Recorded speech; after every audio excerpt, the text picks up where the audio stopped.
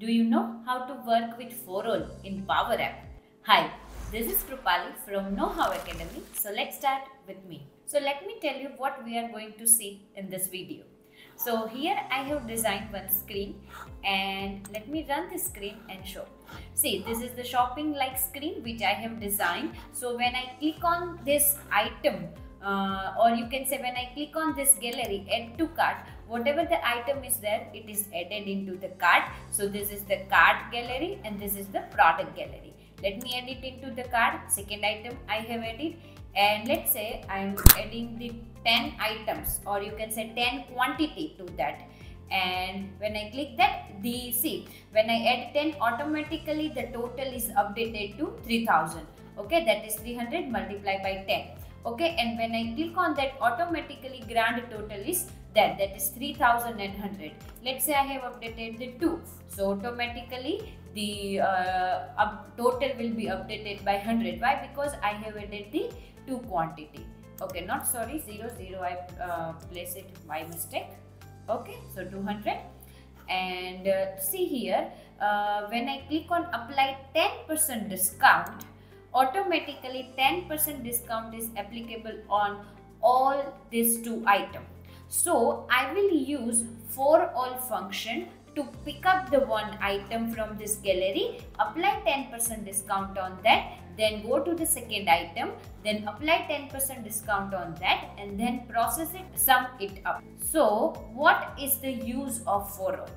For all basically use when we have set of item and we want to iterate one by one on each item at that time we will use for all for that so let's implement this practically so here I have already designed a second screen just like a demo to explain you the coding.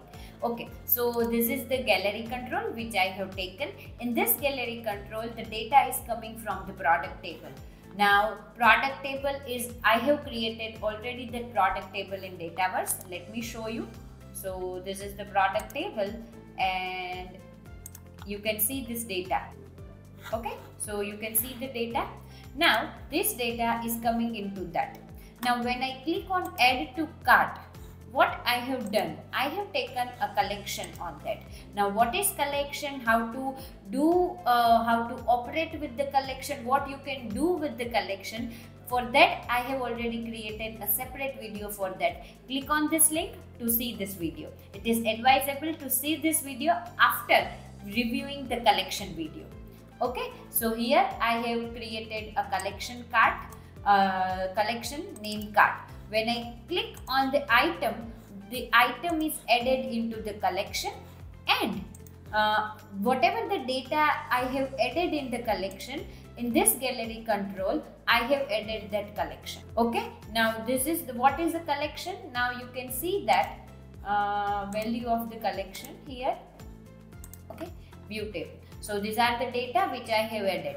So whenever I am adding the data into the uh, collection, you can see the ID is given name, unit price and quantity. By default when we add item into the cart, quantity will be 1. You can increase and decrease the quantity after uh, adding into the cart. Then grand total will be unit price whatever while because by default the quantity is 1 and this time discount is 0 and payment amount is whatever the unit price is there. Okay, so here I have done this. Now see that when I run this I can edit the quantity. Okay, let's say if I am adding 2, automatically 300 into 2 will be multiplied. So how I did this? So in this customize or you can say blank vertical gallery, I have added some controls. This is uh, one label for displaying the product name. This is the another label for displaying the product price. And here I have taken the text box. Now on the text box on change event, I have written the patch. Now basically patch is what? Patch is basically to update something in the data source or update something in a collection.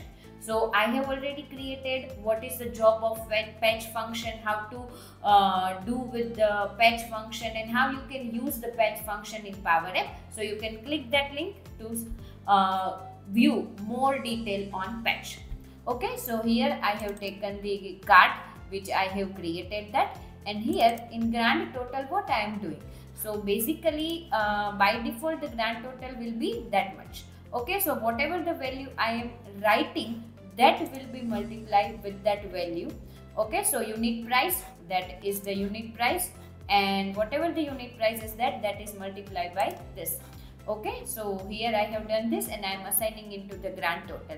And quantity quantity i am updating into the patch function using a patch function. Why? Because by default when you add item into the cart quantity will be one. So whatever the quantity is there i am updating to that. Okay uh, so quantity will be updated. And if you run this you can see that if I add the quantity 30 okay so uh, it will be automatically updated into the cart. Let me show you. Now see the quantity is updated 30 before it was 2 so using patch function I done this. Now what I have done other in this gallery? So I have added this rim, uh, trash uh, icon. So basically when I click on that it will remove item from the cart. Or you can say it will remove item from the collection which is cart name okay so remove cart and this item let me show you now see this is i'm removing and let me show you the cart okay so the cart has only one value okay now what we need to do. So whatever the item is there in a cart, we want to iterate one by one. So for that we are going to use for all. So let me run and add 1 and 2 that is 3 items I have added in the cart. Then what I will do? I will pick up one item, apply 10% discount on that and then I will process it. So for that what I need to do? so for that uh, what we are doing first i will i'm just clearing everything by click on run on start why the reason is that uh, i have set all the value to zero and empty when i want to process from the beginning. So for that i'm just running it one two and three. This three item i have added into the cart and we will check it out which is there in a collection uh, cart or not. Okay so this is the collection and these are the three items are there. Now what we want to do we want to process each item on that and we want to apply 10% discount on that so for that i have already written a code. Let me explain you. Uh, okay. Let me copy this code. Okay. Uh, let me copy. And here we are going to paste it into the apply 10% discount. Okay. Okay. Now i will explain this code one by one. Now see this. Uh, first of all what we need to do we are going to iterate over the item one by one. And we are going to create one new cart or we are going to create one new collection. The collection name is discount cart why? Because i am applying this thing on that. Okay so let me expand it again. So i have created one discount cart and then i am iterating item for all. So whenever you are writing for all you need to pass one thing that is on which collection or on which data source you are processing item one by one. So for all will pick up the item from the cart. Now what is cart? Let me show you. Uh, you have already seen that. We have three items on the cart so it will pick first item so it will pick first item. Then what i need to do in discount cart i am adding the id so this is the id and then i am adding one another thing that is uh, product name so product name, what is the product name? This record. This record basically, basically uh, cart means we are selecting one particular row. So this record dot product name, this record dot unit price, this record dot quantity. So after this record, you need to write the column name which you want to fetch and from which you want to fetch the item. So let me show you again this value. So if we write this dot product name so if it is at first time it is iterating the first column so if you write this item dot unit price so it will pick 300 if you write this item dot uh, product name so it will pick up uh, shirt if you write this item dot payment amount so it will pick up 3 300 okay so i'm taking the all value that is id product name then product uh, price unit price and grand total. This thing we are taking. So basically in discounted cart we add copy this one item into the another discounted cart. Okay and i'm processing this item. Then and one more column i have added into that that in a discounted cart is uh, uh, grand total. So grand total will pick up the item uh, grand total from the cart and then I am processing the discount. So how much discount I want to apply? I want to apply 10% discount on that. Okay, so I have created one new column in the this card. So discount equal to this record dot grand total. So this record dot grand total means this. Okay, so 300 then 300 I will apply. So 10 percent uh, of 300 is that is 30 and then payment amount whatever the payment um, grand total is there we will discount it. We will minus the discount value. So that we have done this. Now let me run this code okay so let me apply 10% discount on that and we will look into that. Okay so discounted cart you can see that so it was 300. So 30 uh, will be the discount and what amount I need to pay that is 270. Why? Because 300 minus 30 that is 270. So basically this line is responsible for uh, that. Okay. Don't worry. I have already uh, given a link in, into the video description. So you can download this code uh, from that and you can try out by yourself.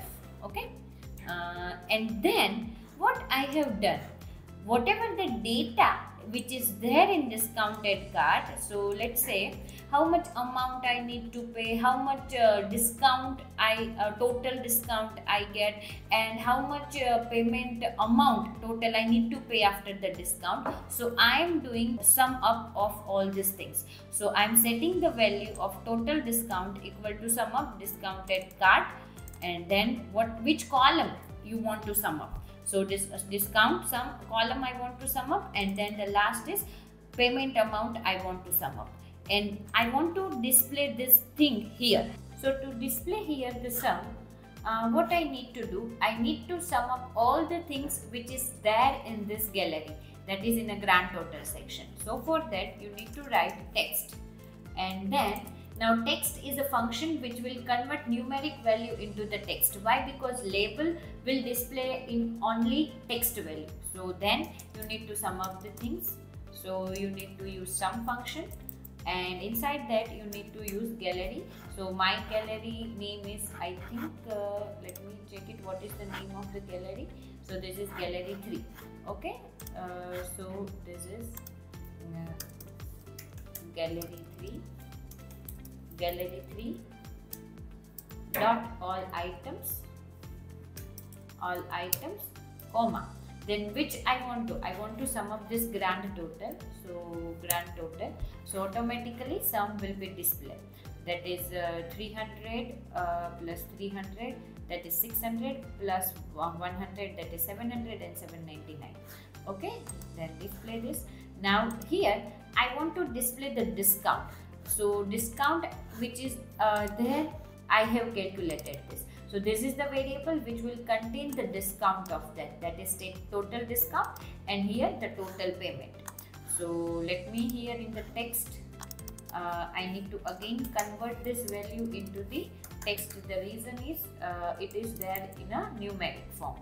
So this is the total discount okay and here uh, let me display the total payment amount. So again I am converting into the text.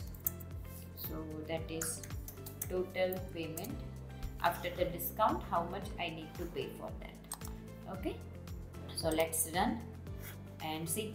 Let's say if I'm updating the value let's say it's 29 and I'm applying the 10% discount and you can check it out that. Okay let me remove this and do it from the beginning. So let's say here shirt i'm buying 5 quantity on that. So that is 1500 jeans. I'm buying 2 quantity of jeans. So that is 2000 so 2000 plus 1500 that is 3500 and it is displaying the uh, value old value. Why? Because i did not clear that value. Okay? So you can do that but later on we will fix it and then apply 10% discount so you can check it out. The value is updated. So since this value is uh, not updating properly so what you can do that you can go to the screen and here you can click on uh, click on this three dot and run on start. So whatever the value is that it will clear out and we will check it out from the beginning. So this is 399 and let's say here I am applying the 30 quantity and here I am applying the 3 quantity. And then you can check it out. Okay? So this way you can use for all for that. So for all basically pick up the one item and iterate over and over again and then we will get a result. So for all you can use for uh, where you want to iterate on value that is one by one. Thank you for choosing Know How Academy as your source of IT knowledge. We are always here to help you to navigate to the tech world. If you have any question, don't hesitate to reach out us. It has been a pleasure to share this information with you. Stay curious and keep learning.